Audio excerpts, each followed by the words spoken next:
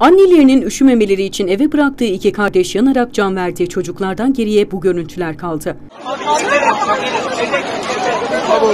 Gaziantep'in Nizip ilçesinde iddiaya göre 20 yaşındaki anne Saral Alu evdeki kömür sobasını yakarak Beşik'te bulunan 1,5 yaşındaki oğlu Ahmet'le 4 yaşındaki Abdurrahman'ı evde bırakarak kayınvalidesinin yanına gitti. Yanan sobaya yakın bir yerde bıraktığı beşikte bulunan örtü bir anda tutuştu. Odayı saran alevler ve dumanı fark eden anne ve yakınları çocukları kurtarmak amacıyla eve girmeye çalıştı.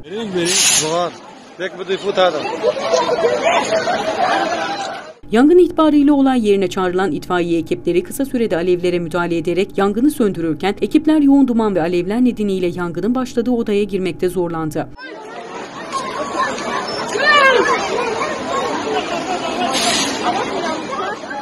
Evin içerisinden alevlerin başladığı odaya girmeyi başaran ekipler vatandaşların ellerinde demir makas ve balyozla vurarak demir parmaklıkları sökmesinin ardından iki kardeşi dışarı çıkarmayı başardı. Ya balyoza vurun duvarı kırın.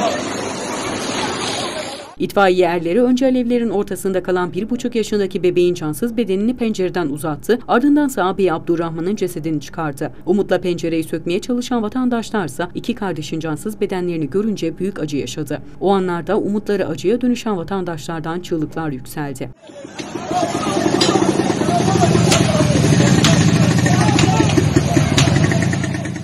İtfaiye ekipleri tarafından çıkarılan iki kardeş olay yerine çağrılan sağlık ekipleri tarafından Nizip Devlet Hastanesi'ne kaldırıldı. Sabo sabo he. İki kardeş olay yerinde hayatını kaybettiği belirlenirken tüm çabalara rağmen yaşama döndürülemediği öğrenildi.